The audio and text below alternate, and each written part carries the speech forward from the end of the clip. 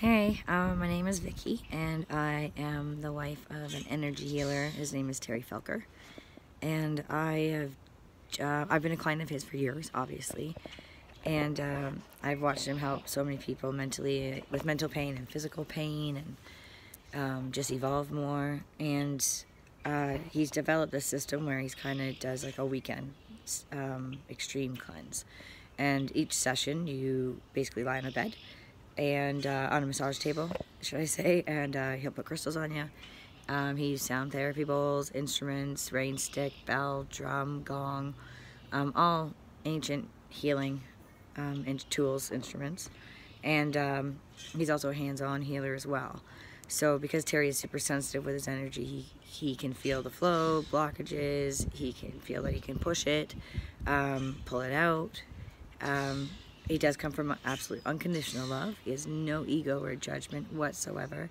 So when you do have a session with him, you, you feel like whatever needs to come out will come out and you don't hold back surprisingly. Um, again, I've watched hundreds of people come in his home and leave different ways. So Terry's developed this thing where he does a weekend session. So it's five cleanses in two and a half days and it's pretty extreme. And I've watched him do it loads of times. And everybody who leaves here leaves here life changed. But um, he decided to incorporate, just for certain people, um, a massage cleanse. And so that's just constant hands-on, and he actually places the bowls physically on your body. The vibration you get is insane. So I had my first one um, last night, and I went in all super pumped and excited. And I'm, I believe this will take me to the next level or next realm or next train, call it what you want. But so I went into it super pumped. And then uh, within like five minutes, he was pushing on certain parts of my lower neck, almost like higher back area. But he was like, he was pushing on it. And as he was pushing, it was like he was pushing buttons.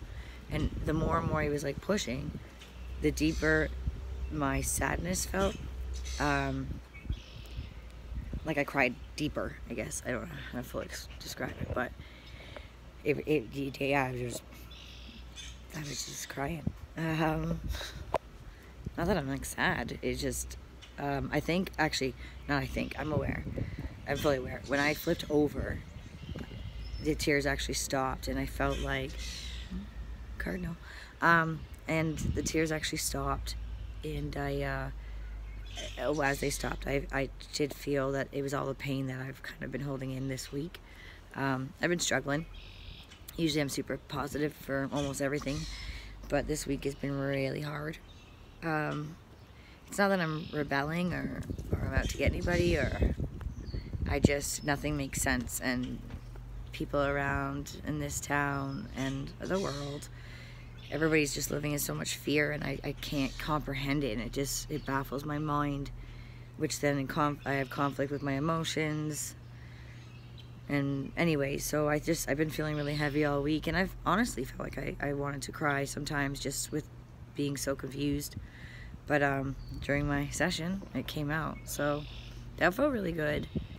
Other than that I just felt really light for the rest of the day. Um, so yeah that was really cool.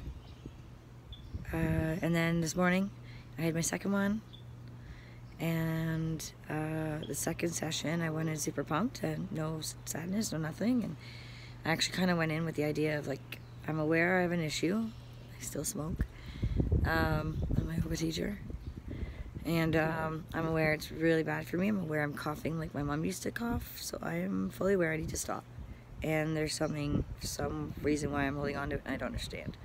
So I went into the today session like trying to figure this out and today like there wasn't really like sadness but at one point when I he was doing my, my back and stuff and I, I was feeling fine um, feeling good energy flow and everything and then um, I flipped over and as I flipped over I was bawling.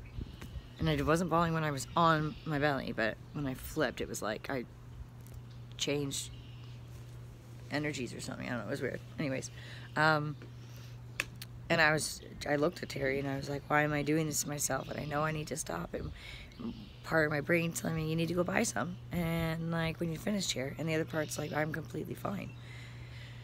And so I was kind of crying, and he worked more on my stomach, and it was weird because it was like he pulled something out of my stomach, which um, almost felt like a zap. So I actually flinched. I felt it fully, and I, um, he jumped as I jumped.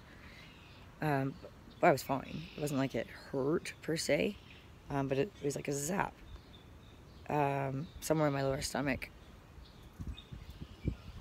which I'm actually there's I've always kind of had things wrong with my stomach. Don't know what it was, but anyways, so that was really cool. Um, he also did this thing though as he came up the front of my chest where he came like near my throat. I think it was like just two fingers he was doing. And it was like I felt like there was a ball, like a bubble in my throat. And as it was coming up, I couldn't breathe. I was well aware I couldn't breathe, but, but I felt fully comfortable. And as it got like near the opening of my throat, I literally sat up uh, and like went into the cover, the sheet. I actually felt like I puked and looked at him like I puke. I I don't understand where's a puke. Like I thought I, I felt like I totally puked. Um, and he said that he felt like he was pulling something like out of my throat um, that was blocking me. There's no like conclusions. There's no stories to them.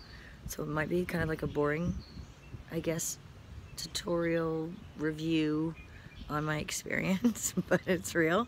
It's what I went through.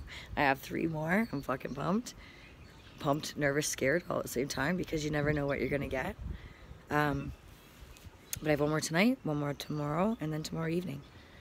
So I love it because this is what we do for other people, and this weekend's all about me.